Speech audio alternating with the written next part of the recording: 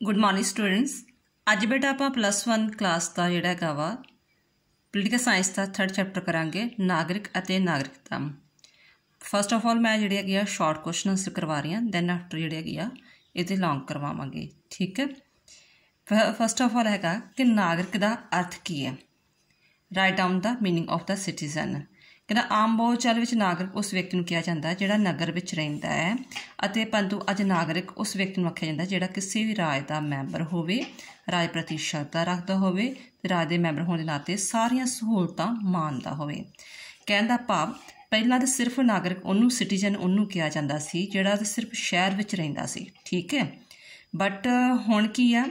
ਹਰ ਉਸ ਨੂੰ ਕਿਹਾ ਜਾਂਦਾ ਹੈਗਾ, ਵਿਅਕਤੀ ਨੂੰ ਕਿਹਾ ਜਾਂਦਾ ਵਾ, ਭਾਵੇਂ ਉਹ ਪਿੰਡ 'ਚ ਰਹਿੰਦਾ, ਸ਼ਹਿਰ 'ਚ ਰਹਿੰਦਾ, ਠੀਕ ਹੈ? ਪਰ ਉਹ ਇਹ ਆ ਕਿ ਉਹ ਸਪੋਜ਼ ਕਰੋ ਉਹ ਇੰਡੀਆ ਦਾ ਮੈਂਬਰ ਆ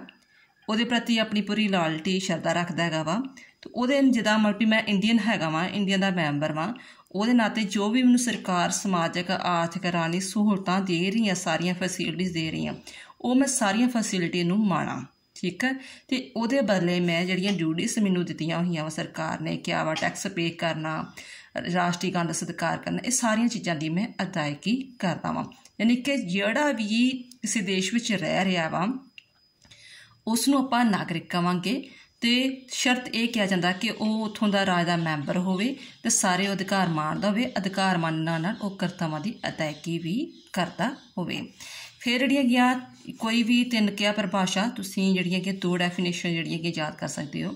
ਫਸਟ ਆਫ ਆਲ ਤੇ ਗੈਟਰ ਕਹਿੰਦਾ ਨਾਗਰਿਕ ਸਮਾਜ ਦੇ ਉਹ ਮੈਂਬਰ ਹੁੰਦੇ ਹਨ ਜਿਹੜੇ ਕਿ ਸਮਾਜ ਨਾਲ ਕੁਝ ਕਰਤੱਵਾਂ ਕਰਕੇ ਜੁੜੇ ਹੁੰਦੇ ਹਨ ਅਤੇ ਇਸ ਦੀ ਸ਼ਕਤੀ ਦੇ ਅਧੀਨ ਰਹਿੰਦੇ ਹੋਏ